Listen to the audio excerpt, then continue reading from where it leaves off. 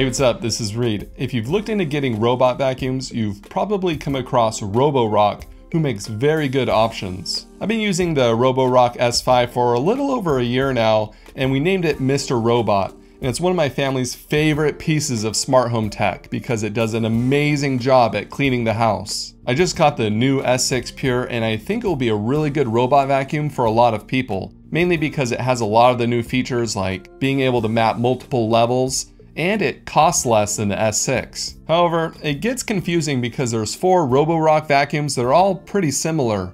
There's the S6, the S5 Max, the S6 Pure, and the S5. I know it's a mess, but if you're interested in the Roborock vacuums, I'll tell you the differences that you would need to know before buying, and I'll explain it throughout this video. But I think the S6 Pure is going to be the sweet spot between price and features. And one of those features is being able to map multiple levels. The S6 Pure uses LiDAR with a little laser on top to map out the floor plan of your home. And this works really well. I 100% recommend a vacuum that maps out your home. It's way more efficient at cleaning and it's less likely to get stuck. One of the things people wanted on the S5 was being able to map multiple levels. That way you don't have to buy more than one vacuum. The S6 Pure can do this, but it was slightly confusing at first. But once I figured it out, it was really easy. So let me save you the headaches that I went through. When setting it up, you have two options, the Mi Home app or the Roborock app. But don't use the Mi Home app, use the Roborock app. The firmware update for multi-level mapping only showed up in the Roborock app. I updated the firmware and I was really excited to try it out. And then I looked through the app and I couldn't figure out where to do it. Online, Roborock makes it seem like it just automatically creates a new level in the map but it doesn't unless you first activate it in the app, which I finally figured out. It was in the map settings on the main page under edit map. And on that screen, you can enable multi-floor mapping. I only have a one-story house, so to test this, I moved the robot vacuum to a bedroom that it hadn't mapped yet to simulate another level. When creating the new level, the app says to move the dock to the new level as well, and I think that's a little inconvenient, so I created the new map without moving the dock just to see if it would work, and it worked fine. After it was done cleaning and mapping, the vacuum just went back to the spot where it started to clean.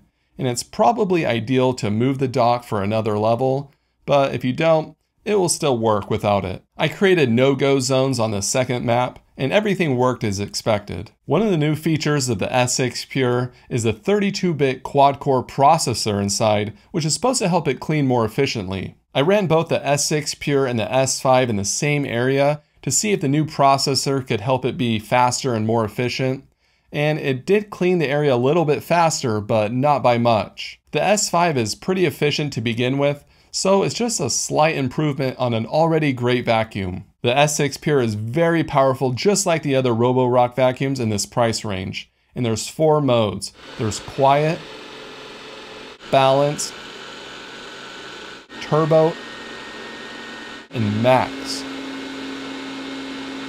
And the S6 Pure is slightly more quiet than the S5.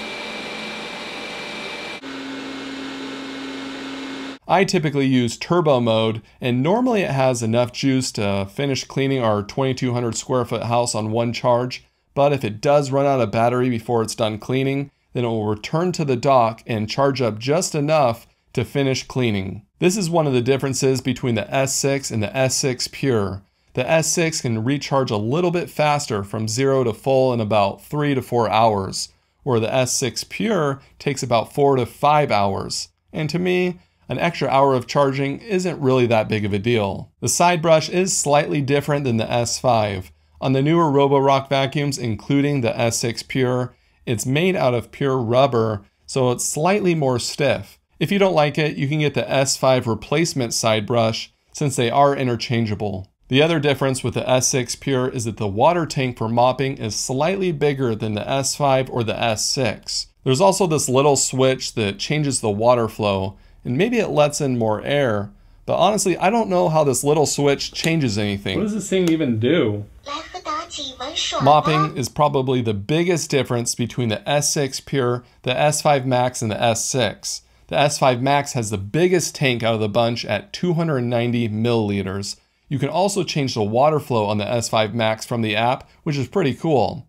The The S6 and the S5 Max also have no-go mop zones. So when you attach the mop, it automatically knows where not to mop that you've set in the app, like carpet. The S6 Pure does not have these no mop zones. However, there is a workaround. You can create another map level and create a bunch of no-go zones where there's carpet and you can use that for just mopping. So when it's time to mop, you just switch to that map and you're good to go. You can also just select which rooms or zones to clean while it's mopping, so it's really not that big of a deal. Because the S6 Pure has a slightly larger water tank, the dustbin is barely smaller than the S5 and the S6. The difference is almost insignificant though. The S6 Pure has many of the same great features as other Roborocks. It can sense when it's on carpet and turn up to max power to clean the carpets better. The side brush will spin up faster when it's against the wall and it will slow down when it's out in the open. That way it doesn't fling things in areas where it's already cleaned. You can use the app to remote control it and spot clean an area. The vacuum can be scheduled with a specific cleaning mode selected. You can also start and stop it with Alexa or Google Assistant. You can also use Alexa routines, which is very convenient. There's also a few more features that have been added to the S5 recently as well. You can divide the map up into rooms and select which rooms you want it to clean, or select a point on the map and have the vacuum go there. As you can see, there isn't much of a difference between the S6 and the S6 Pure. If you can live without no mop zones and a slightly slower charger, then you might as well save $100. And that's why I think the S6 Pure is a sweet spot for a lot of people. The S5 is also a great option, especially if you live on a single story. I get emails all the time from other companies wanting me to cover their robot vacuums, and I have to turn them down because Roborock is just that good. If you want to compare these vacuums more, then check out Roborock's comparison table that I'll link down below. Thanks for watching, and we'll see you again next time.